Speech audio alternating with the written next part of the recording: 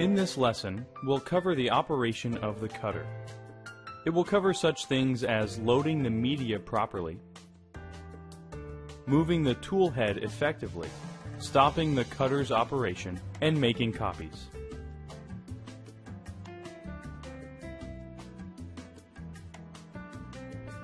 In the lesson on installation and setup, we covered briefly how to load the media. What we will do now is go more into depth about loading media onto the cutter. To help us understand this though, we need to examine the push rollers and the grit rollers, how they work together, and how to position them correctly. The push rollers have to be located so that the rubber wheel of the push roller is squarely over one of the grit rollers. It cannot be halfway on as you see here. This is because the grit rollers are what drive the material back and forth. Thus, if the push rollers are not over the grit rollers, the material would not track properly. If one of the push rollers is not squarely over a grit roller, the cutter will display this message to alert us that one or more of the push rollers need to be repositioned. Something to keep in mind is that when the cutter initializes, it will use the position of the outside push rollers to determine the cut area width. The cutter then assumes that the outside push rollers are the edge of the media and will not allow the cutting tool to go beyond the push rollers. Therefore, it is generally best to position the outside pinch rollers so that they are, if possible, on the outside edges of the media. This cut area between the wheels can be expanded up to almost half an inch on each side if needed. This is helpful when cutting jobs that need the extra space. This way we can get the most from our media. To expand the area, simply go to the control panel and press the menu pause button. Press the 3 key for area parameters. Press the 1 key for expand. Then press the up arrow key to increase this value to 0.4 inches or close to it. And then press enter to accept the new value.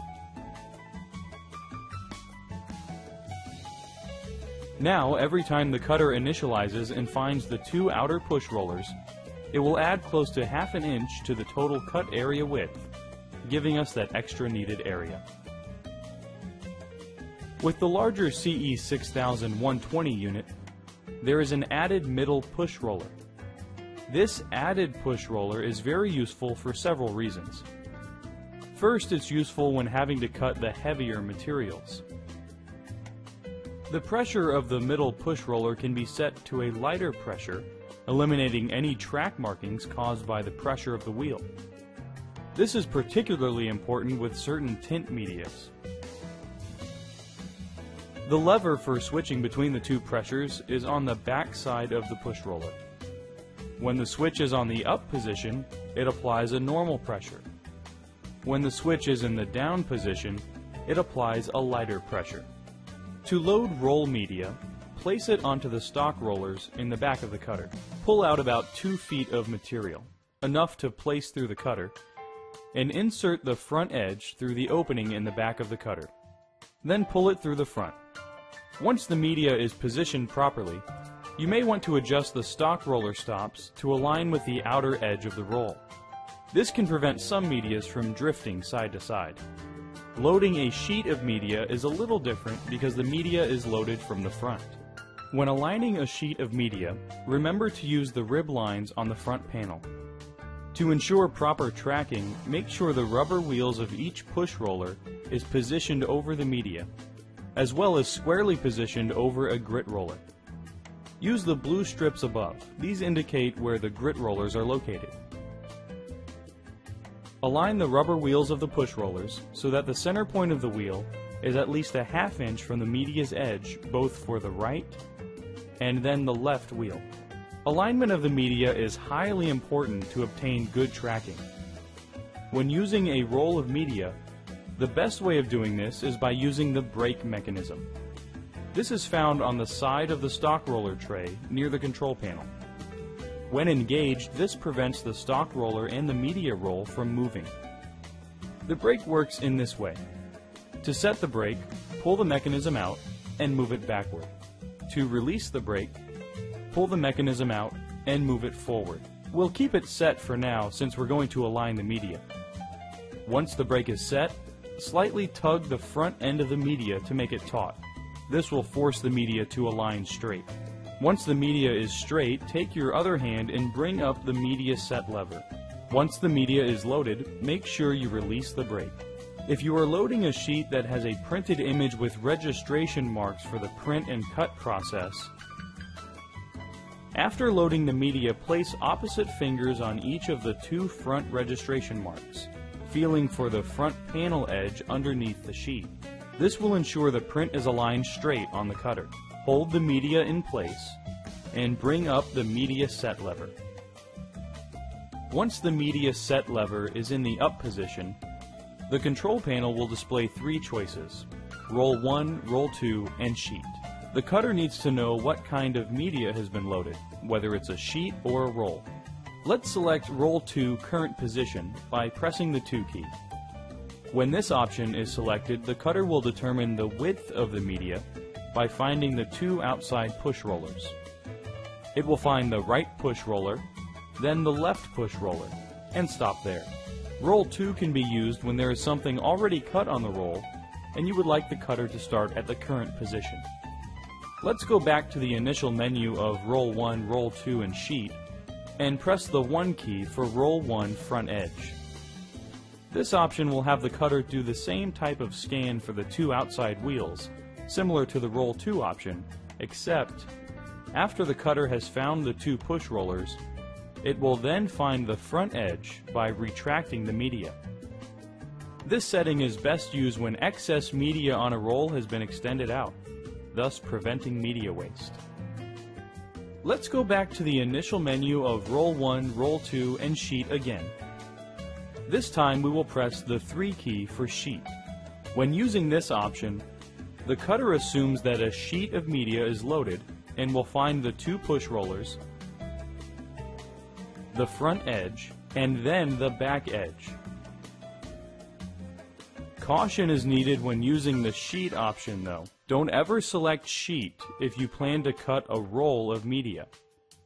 If sheet is chosen, you may find that all the media on the complete roll has been fed through the cutter in an attempt to find the back edge. After this, the cutter will display that it is in ready mode. This indicates that the cutter is ready to accept a job from the computer software. There will be times when the tool head needs to be repositioned. For instance, when positioning the tool over a registration mark when cutting a printed image, the tool will have to be moved to that location. The arrow keys can be used for this purpose. Pressing the up and down arrow keys will move the media back and forth. The left arrow key will move the tool carriage to the left and the right arrow key will move the tool carriage to the right. Keep in mind that the arrow keys can be used in combination with each other. For instance, if we press the right arrow key and the down arrow key, the tool carriage will move diagonally. You'll notice that the tool doesn't move that quickly. In fact, it moves slowly. To speed up the movement, hold down the arrow key and then press the fast key allowing us to move the tool quickly to a new position. Once the tool carriage has been repositioned, pressing the origin key on the control panel will let the cutter know where to start cutting. When a new origin point is set, the cutter will cut everything to the left and behind the new origin, which is the area behind the tool carriage. When the cutter is cutting a job, there may be a point where there's a need to pause the cutting. For instance, you may want to change a setting that will improve the cutting, or there is a need to straighten the media. The pause menu key will stop the cutter immediately. Here is where the set lever can be released so that the media can be straightened. Notice that the cutter's screen will display these two choices. Continue, the first choice, will continue with the cutting operation. In this case, we've straightened the media, so we can press the 1 key to continue. Let's pause the cutting operation again. This time let's choose the second option, Quit Job, by pressing the 2 key. Pressing this second option will display a second screen. This is where we can clear the buffer by pressing the 1 key. But if all we want to do is change a condition setting, the condition test key can be used for this. Once pressed, the cutting operation will be paused, but not immediately. It will continue to cut to find a good spot to pause. Therefore, when pressing this key, don't be concerned if it continues cutting for a moment.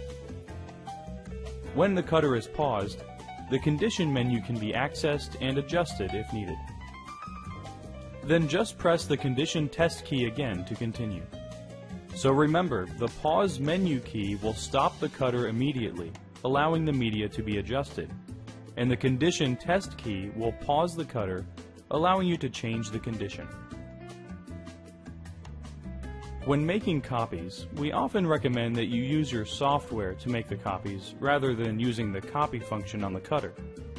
The reason for this is that the software provides a better sense of how the copies will lay out. This is especially true when adjusting the spacing between the copies. There are times, though, when the copy function on the CE6000 can be more productive than using your software. Imagine for a moment that you want to make several copies of a certain design on individual sheets of vinyl. From software, you would have to send the design for each copy produced. Then, after the copy is cut, you'd have to unload the sheet, load a new sheet, initialize the cutter, send another copy from the software, and repeat that process over and over again. This would be a daunting task. When using the copy function though, you'd load the first sheet of vinyl onto the cutter, send one copy of the design from the software. Once the job is done cutting, you'd set up the number of copies and load the next sheet, and the cutter cuts the next job. This is a much more productive method, so let's consider each step. First, load the first sheet and send the design from the software. Once it has completed cutting, Press the Copy key on the control panel. Press the 1 key for Media Change Mode, and press the 2 key to turn it on. This will return to the Copy menu. We can set the number of copies by pressing the 2 key. We'll set it for 3 for demonstration purposes, although we could enter as many as we'd like. Finally, to start the process, we just press Enter. A message to load the next sheet will appear. We can now remove the first sheet that has been cut and load the second sheet. Once the media set lever is latched, the cutter will immediately scan for the media and then cut the second job.